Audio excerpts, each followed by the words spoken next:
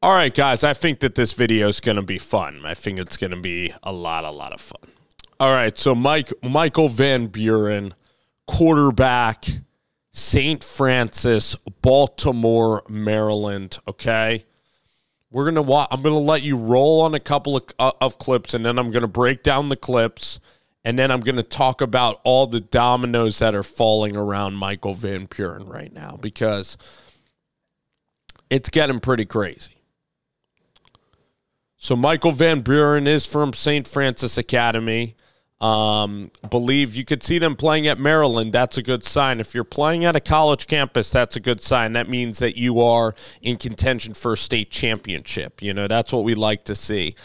If I had to compare Michael Van Buren to somebody on tape, and this is so ironic, I think that he actually has a lot of the skills that Dillon Gabriel has.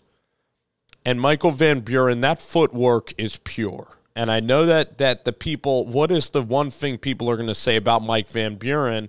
It's oh, you're five eleven, you're just six feet. He's probably been hearing it his whole life, and it's kind of boring to even say that because this guy is an elite level, really good quarterback. I mean, looking at this quarterback class right now, it's an interesting quarterback class. I don't even think at the top of the class like, I guess that you have Raiola at the top of the class, but I'm telling you guys that this quarterback could be right up there, like in the top four, top five.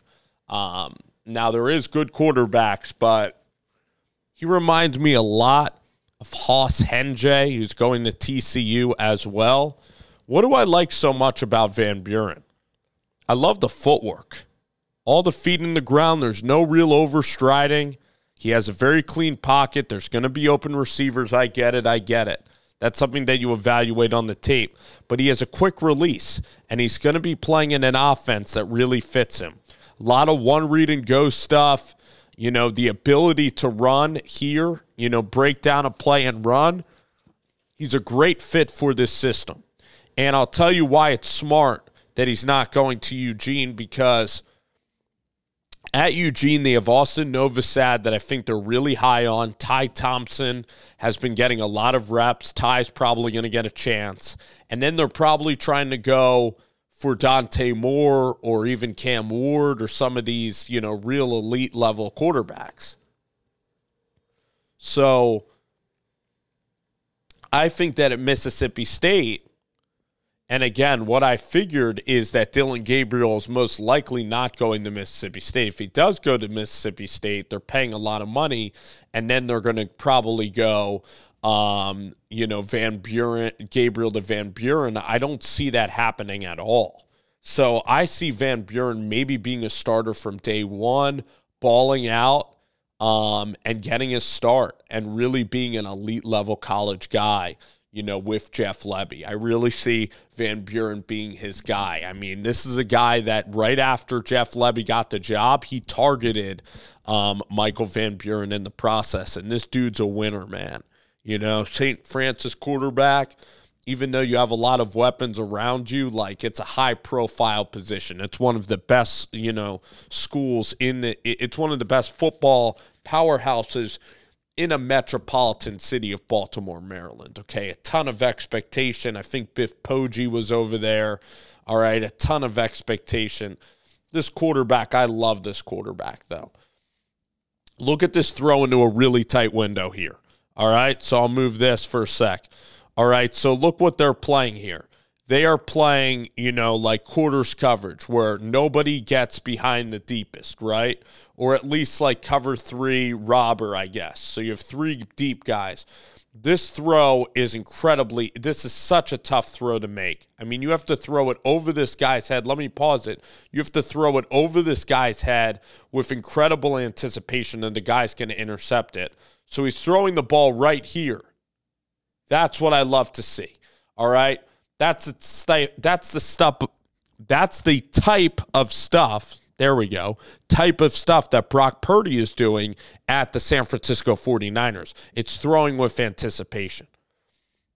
Look at how he moves the defense with his eyes and feet. Okay, we think we're going screen. No. He's checking things off. No, no, no, no, no, yes. You see that? No, no, Yes. Hits the deep window. That is going for your progressions at an elite level. That's going for your progressions at rapid speed. Look at this throw. I mean, this is perfect for a Lebby offense. Will Howard's made that type of throw a lot in the air raid. Bam, you hit the slant, YAC, yard after catch. Maybe if he goes to the Elite 11, which I think he did, by the way, wheel route perfectly thrown. Just one of the most accurate quarterbacks in the class, athletic, has really good footwork, really is totally a starting caliber quarterback. I love the arm strength here. I love the load up. I love the control on the football. The guy is everything you need to be a starter at this level. He really does. He has talent, okay? The guy is talent. I don't know why he's a three or he should be a mid four star quarterback. It's probably just because he's 5'11 and maybe they say because he's playing in Baltimore or something. But I'll tell you this about Van Buren, okay? I'll tell you this. Michael Van Buren maybe if he if he tried to throw it like a Dylan Raiola or like you know the guy Ethan Grunkemeyer going to Penn State, maybe he throws it a little less yardage in the air. Maybe he throws it like 60 and those guys could throw it 70 or he throws it 55.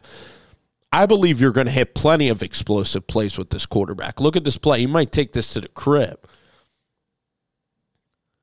There's a reason Jeff Lebby and these guys scouted Van Buren from the get go and they had Jackson Arnold, and he was committed to to um, to Oregon, so that's why Oklahoma didn't reach out in the recruiting process. But he's visiting them, and it's a great fit for him. And he's not, and and I know Penn State was involved. He's not going to have to wait behind Drew Allar. And this is this is great anticipation into a tight window.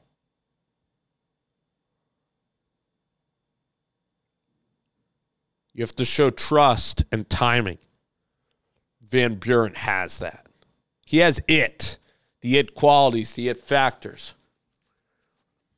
He realizes that by not going to Oregon, that's a great move. He realizes that by not going to Oregon, he's going to get to play sooner. It also tells you that Oregon's in the market for a big time quarterback. It also tells you that they're either in the market for a big time quarterback or they love the quarterbacks on their roster.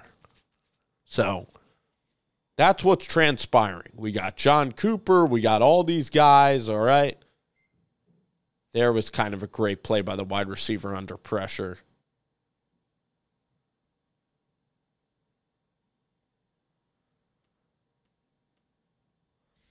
Van Buren, man, he's solid. Maybe he's like Pierce Clarkson at Louisville a little bit. Very technically defined uh, player.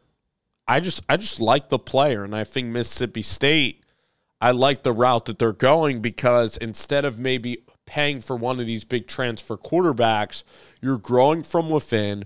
You're giving Van Buren time to grow with this team, and in like two years, when your D line recruits come alive, and Van Buren could hopefully be a stud in like as a sophomore or as a junior, then you take the money you have and you go all in. And then in year three, like Lebby's going to be really competing in the SEC. And like real, I'm talking nine or 10 wins in the SEC. I'm talking get it, get it, get an extension, get a raise type of competing.